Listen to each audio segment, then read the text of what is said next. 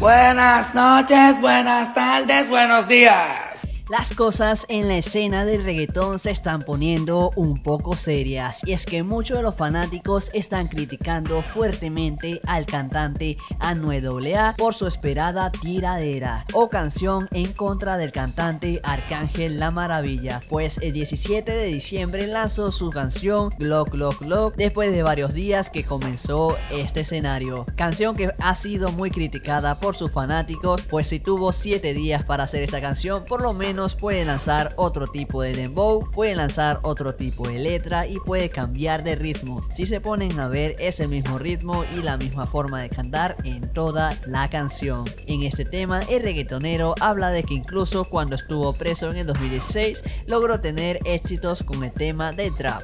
Sin embargo, las indirectas no faltaron, esto porque tiró unas rimas que podrían hacer referencia a Bad con quien tiene una rivalidad musical en el trap, además de hablar del reggaetonero Coscuyuela. En pantalla te estaré mostrando los comentarios que tuvo esta canción, cuáles son las críticas que está lanzando o por lo menos alguna de ellas. De hecho, si te pones a ver en su tema de YouTube, muchos comentarios son negativos, diciendo que esta canción fue mala, que no tuvo buena letra que no se entendía nada. ¿Tú qué opinas de esto? Déjamelo saber en los comentarios.